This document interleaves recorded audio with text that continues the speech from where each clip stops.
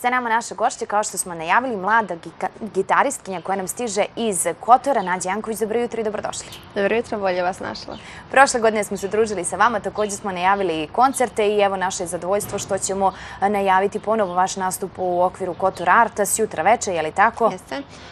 S jutra veče, znači koncert pod nazivom Iskre mladosti u sklopu Kotor Arta i Domrankovih dana muzike. Održat će se sa početkom u 22 časa na ljetnjoj pozornici u starom gradu Kotoru. mislim da će koncert biti vrlo zanimljiv i nešto što ljudi možda nisu imali prilike do sada da čuju.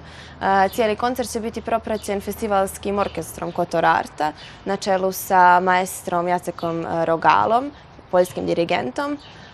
U prvom dijelu koncerta nastupit će Safira Dižez, kompozitor i saksofonista sa svojim autorskim dijelom a kao gost koncerta nastupit će kao narator sinovog dijela Isaka Dižez. Tako da koncert će biti onako prožet različitim stilovima, periodima i različitim pogledima na muziku. Tako da mislim da će biti vrlo zanimljivo za sve. Mhm.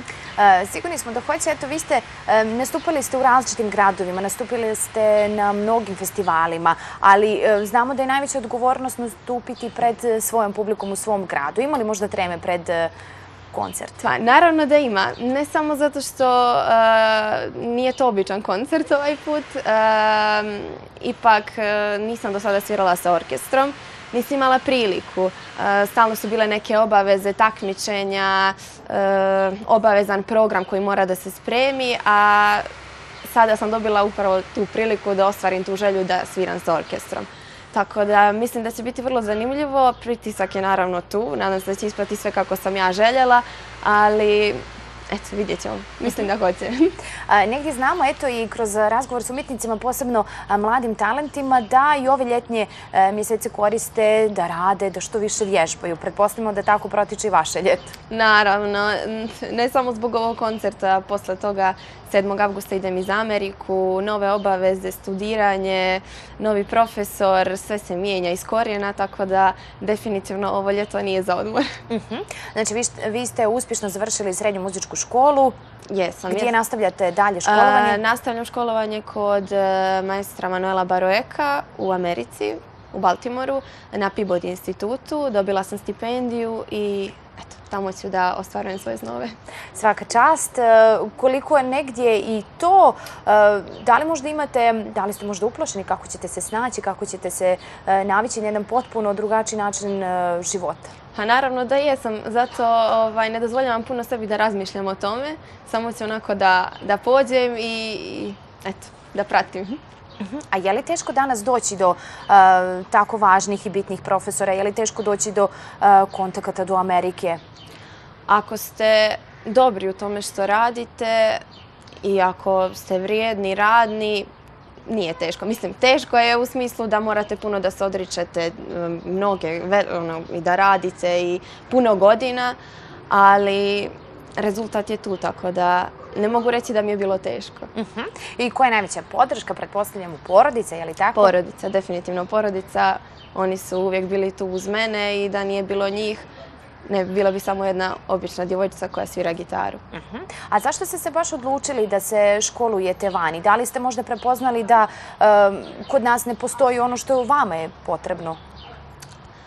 Pa, jednostavno se desilo. nemam neki odgovor na to. Prosto upisala sam muzičku kao i sva ostala djeca i nekako se izdvojila, ne znam. Mhm.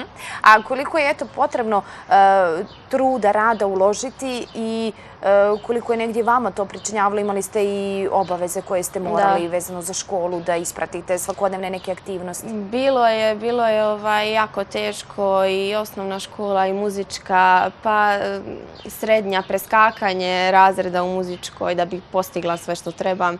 Ovaj, pa takmičenja, putovanja.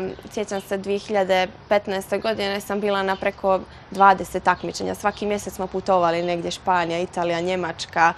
Tako da bilo je strašno naporno i to dokazivanje jer niko ne zna ko ste. Dolazite mhm. iz malog grada, eh, bez profesora, samo sa tatom, mamom i bratom. I morate da se pokažete, morate da budete mnogo bolji da biste izašli na vidjelo. Mhm. Tako da bilo je teško, ali ali ste uspjeli. Da. Jasno, Nađa, eto, hvala vam e, puno što ste bili naši gošći. Eto, za kraj još jednom da pozovemo sve kotorane i kotoranke, ali i sve turiste e, da se jutra večer nikako ne propuste vaš koncert. Tako je, bit će vrlo zanimljivo, e, nešto nesvakidašnje i mislim da bi se definitivno, da nećete pogriješiti ako dođete. Sigurni smo da neće i sigurna sam da će se mnogi sutra večer upravo zaputiti ka Kotoru. Hvala još jednom lijepo i puno uspjeha u daljem radu i studiranju u Americi. Hvala vam i hvala na pozivu.